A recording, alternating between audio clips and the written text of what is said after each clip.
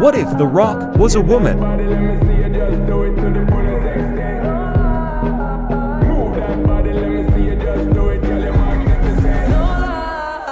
Feel your